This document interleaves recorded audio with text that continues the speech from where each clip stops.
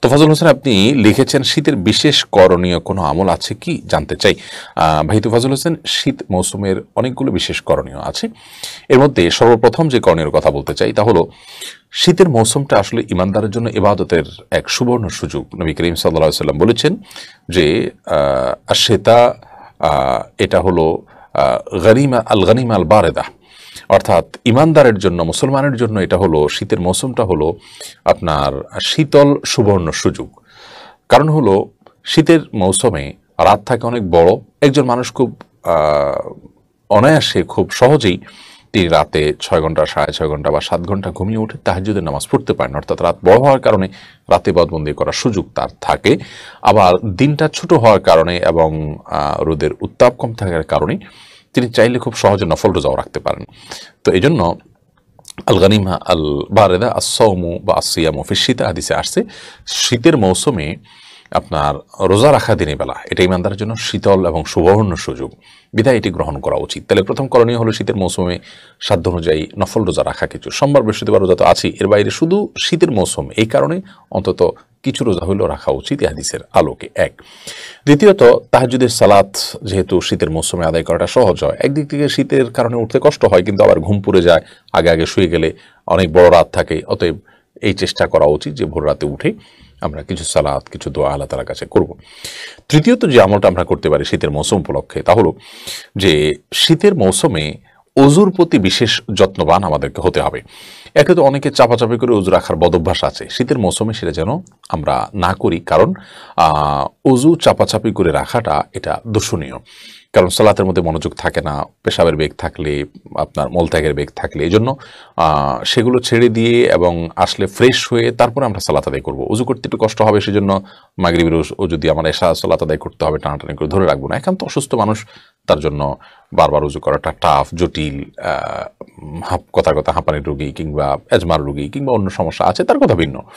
এছাড়া সাধারণ অবস্থাতে আমরা চেষ্টা করব অজুতে কোনো প্রকার অলসতা না করা, শীতের মৌসুমে বিশেষ করে। গরমে তো সবাই করেই, আলহামদুলিল্লাহ। শীতের মৌসুমে অলসতাটা হয়, অতএব বেড়ে যেন না হয় সে খেয়াল করতে পারি। নবী করিম সাল্লা সাল্লাম বিশেষ কিছু আমলে কথা বলেছেন যে আল্লাহ তালার মাধ্যমে বান্দার গুনা মাফ করে দেন, তার মর্যাদাকে বৃদ্ধি করেন ভিতরে একটা হলো ইসবাগুল উদুই আলাল মাকারি। কষ্ট উপেক্ষা করেও উজু করার যে প্রচেষ্টা পরিপূর্ণরূপে এটি প্রশংসা নবী সাল্লাহ আসলাম করেছেন। বিধায় আমরা সেই সবের আশায়, অতিরিক্ত সবের আশায় শীতের মৌসুমে উজু করতে কার্পণ্য করব না, অলসতা করব না। আর উজুর অঙ্গগুলো বিশেষভাবে ধোয়ার জন্য যত্নবান হতে হবে। অনেকে কোনো রকম পানি দিয়ে শীতের মৌসুমে উজু করে ফেলেন। না, এটা করলে হবে না। যদি বিশেষ করে শুকনো থাকার আশঙ্কা থাকে তখন। তাহলে সেক্ষেত্রে আঙ্গুলের চিপা বলেন কনুই বলেন, পায়ের গোড়ালি বলেন, এই জায়গাগুলোকে ভালো করে ধুয়ে তারপর উজু করতে হবে। এটি শীতের গুরুত্বপূর্ণ একটি আমল আমরা বলতে পারি। সেই সাথে একজন ইমানদার শীতের মৌসুমে যারা শীতের কষ্টে আছেন, সেই শীতার্থ মানুষের পাশে দাঁড়াবেন এবং তাদেরকে শীতবস্ত্র কিনে দেওয়া, তাদের শীতের কষ্ট নিবারণ করার জন্য উদ্যোগ নেওয়া, এটি আমাদের দায়িত্বের অংশ। কারণ আমরা এই মৌসুমে বহু মানুষকে শীতের কষ্টে কাঁপতে দেখি। অনেক মানুষ শীতের তীব্রতায় মৃত্যু পর্যন্ত বরণ করেন। অতএব শীতার্থ মানুষের পাশে দাঁড়ানোর চেষ্টা আমাদের মধ্যে থাকতে হবে। সেই সাথে শীতের মৌসুমের আরেকটি গুরুত্বপূর্ণ আমল হলো মোজার উপর মাছা করা। সাধারণত অন্য যে কোনো সময় এটি করা যায়, কিন্তু শীতের মৌসুমে বেশি করার প্রয়োজনীয়তা দেখা দেয়, সেজন্য আমরা করতে পারি এবং এটি আলোচনা জামাতের একটি গুরুত্বপূর্ণ বিশ্বাস। চামড়ার মোজার উপরে মাছা করব অথবা কাপড়ের মোজা হলে সেটি এত শক্ত মোজা হতে হবে যেটা দীর্ঘ পথ হাঁটা যাবে এবং অনেক মোটা হবে, অনেক শক্ত হবে সেক্ষেত্রে। তো মোজার উপরে মাছা করা যেতে পারে। এটি শীতের একটি আমল বলতে পারি এবং আলোচনা জামাতের আকিদা হলো মোজার উপরে মাছের যে জায়েজ সেটিকে বিশ্বাস করা। এটি আবশ্যক কোনো বিষয় না, কিন্তু জায়েজ এবং মাঝে মধ্যে মাছা করা শুননা নবী করিম সাল্লাহ সাল্লাম মোজার উপর মাছা করেছেন এবং করতে সাহাবিদেরকেও নির্দেশনা দিয়েছেন।